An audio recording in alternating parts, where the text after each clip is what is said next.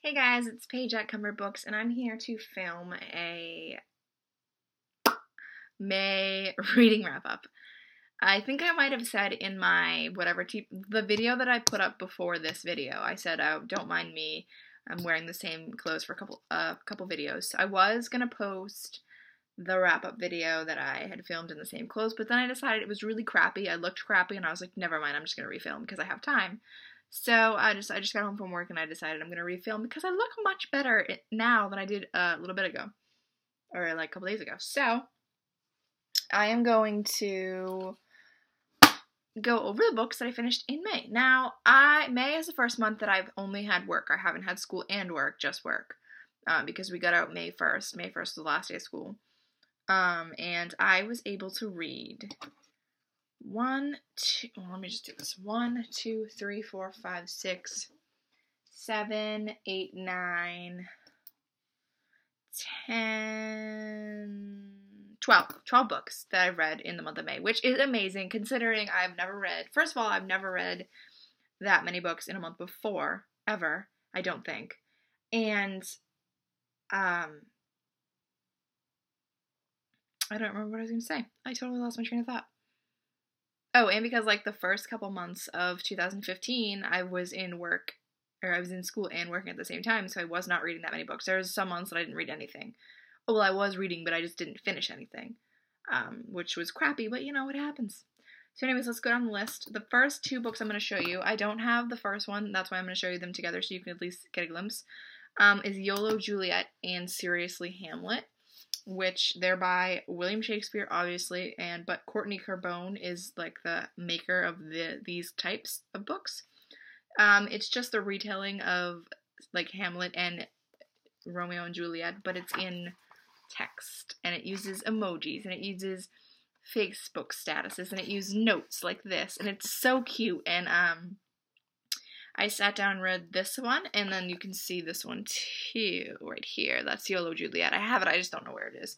Um, but I sat down and read this one and the Romeo and Juliet one in one sitting. I didn't read them on the same day, but I did read them in one sitting. This one I sat while I sat in the pool and read this one while I was on vacation, and I took like maybe like half an hour to read it. Mom was like, "Wow, you're done already?" I was like, "Mom, it's just little text messages. Like it's not it's not a very big book. Like of course I'm done."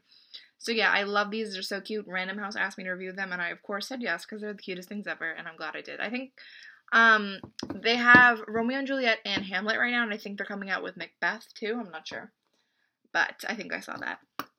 Next on my list is The Shadow Prince by Bree Despain, which I was chosen to be an ambassador for the series. So the first and second books that were out um, I have an arc of the second book, but it wasn't out when I got it, but it is out now. They both came out in May, I believe.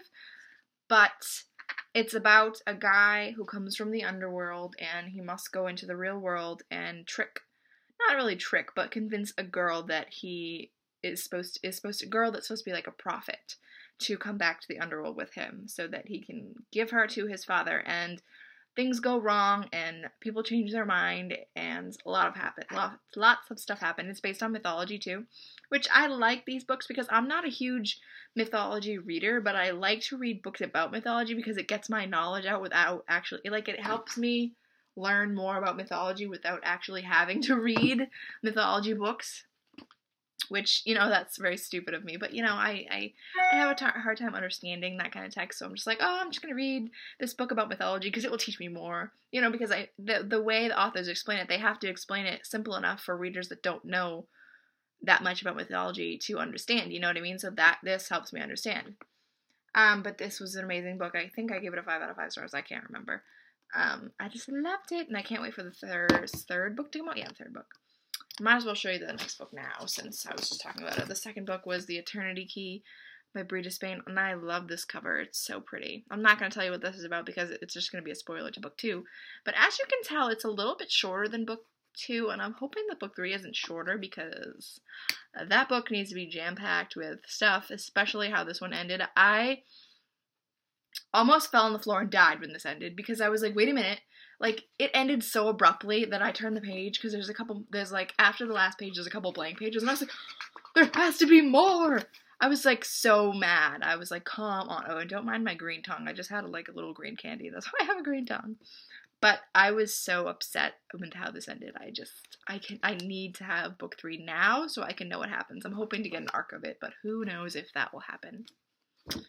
Next up is Paperweight by Meg Haston. I received this in the mail from Epic Reads. Um, I was picked for the Epic Readers Epic Reads Early Readers Group um, which I had never heard of before. I think I remember getting an email about it and signing up for it, and then it just a few months later this came in the mail, and I was like, oh, so cool.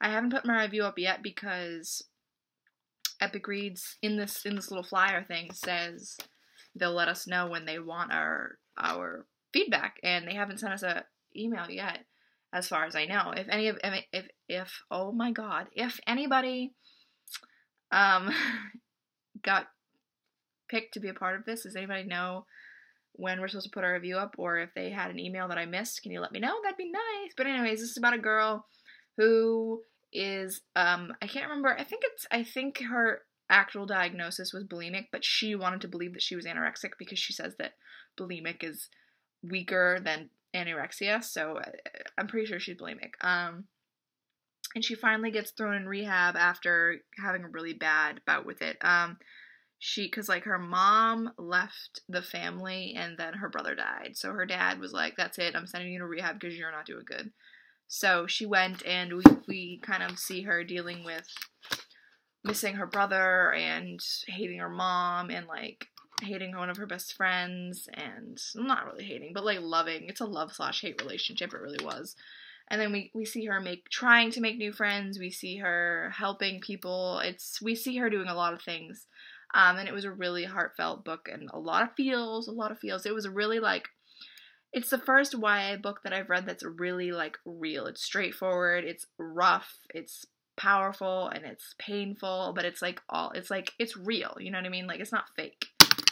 You know, I just threw my pen for no reason. So, next book I've read is Bit Players has Been Actors and Other Posers by S.M. Stevens. This is another review book that I read during a readathon this month.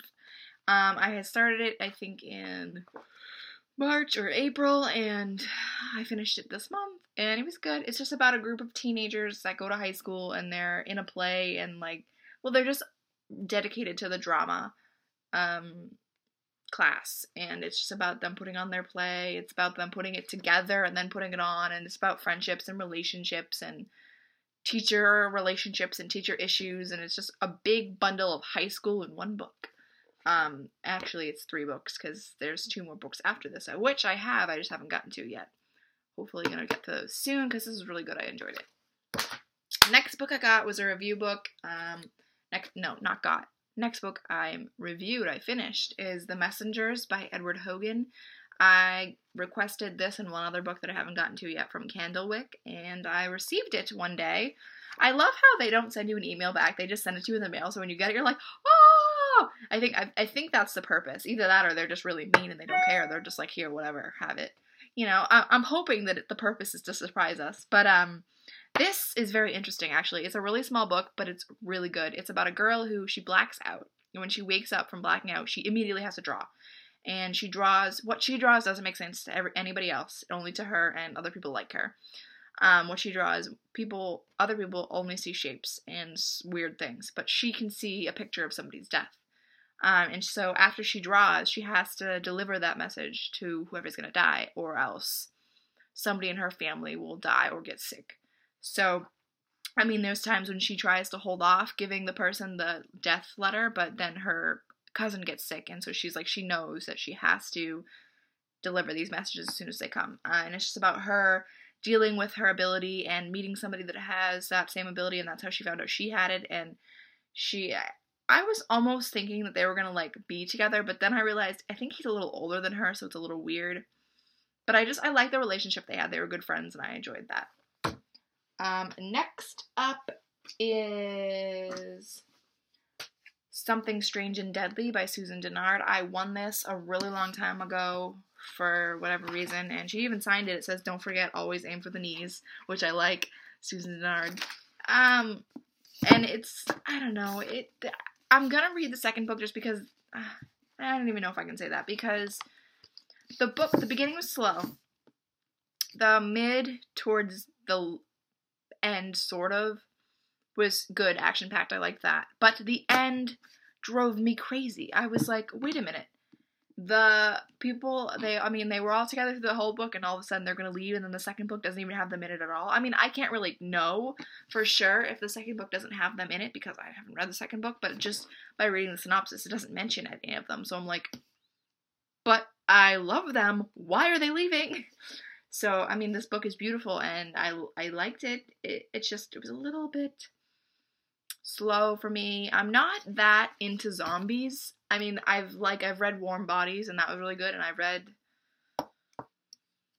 I don't even know. I don't even think I've read that many zombie books. That's my problem. Oh, and I've read um, The Farm, which I think is about zombies too. I think I'm not sure but either way, I'm not a very big zombie person, so I think that's one of the reasons why I didn't get into it that much. I totally forgot that it was about zombies. When I picked it up, I was like, I don't even know what this is about, but I'm gonna like it because it's a pretty cover.